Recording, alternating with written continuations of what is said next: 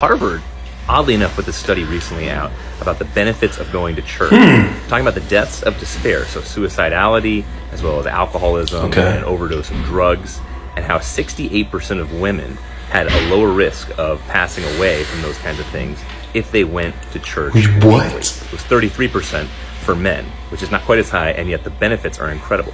Psychologists talked about how if they could make a drug that had the same kind of effects, it would bring immense types of healing. So why is this? It has a lot to do with meaning, purpose, identity, God is good. psychological resiliency the study talked about, and it does not come from other social institutions. Oddly enough, it comes just from the Christian church.